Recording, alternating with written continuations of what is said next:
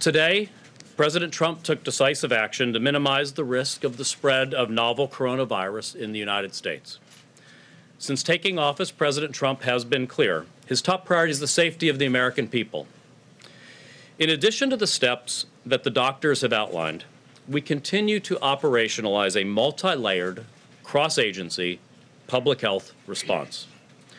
Following the World Health Organization's decision to declare the 2019 novel coronavirus a public health emergency of international concern, I have today declared that the coronavirus presents a public health emergency in the United States.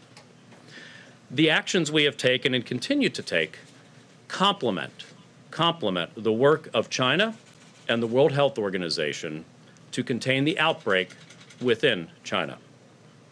In accordance with the declaration, beginning at 5 p.m. Eastern Standard Time, Sunday, February the 2nd, the United States government will implement temporary measures to increase our abilities to detect and contain the, the coronavirus proactively and aggressively.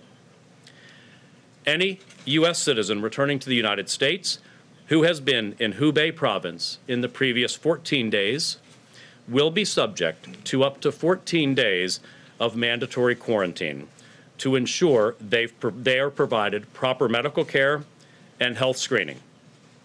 To be clear, this applies only to U.S. citizens who have been in Hubei province in the past 14 days prior to their attempted entry into the United States.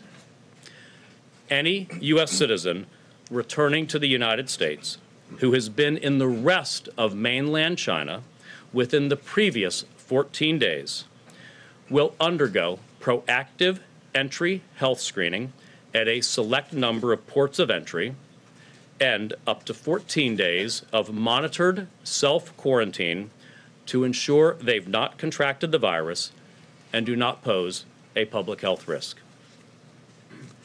Additionally, the President has signed a presidential proclamation using his authority pursuant to Section 212F of the Immigration and Nationality Act, temporarily suspending the entry into the United States of foreign nationals who pose a risk of transmitting the 2019 novel coronavirus.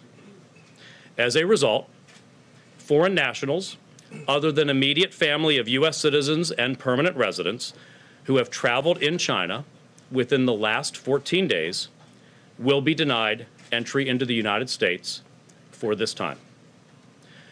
Once again, these actions will become effective at 5 p.m. Eastern Standard Time, Sunday, February 2nd.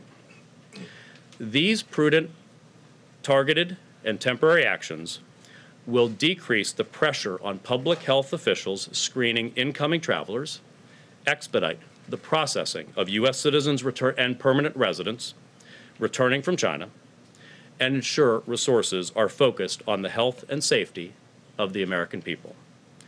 I want to stress the risk of infection for Americans remains low. And with these and our previous actions, we are working to keep the risk low. All agencies are working aggressively to monitor this continually evolving situation and to keep the public informed in a constantly transparent way.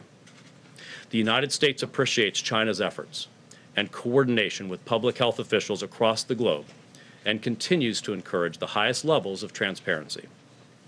It is likely that we will continue to see more cases in the United States in the coming days and weeks, including some limited person to person transmission. The American public can be assured the full weight of the U.S. government is working to safeguard the health and safety of the American people.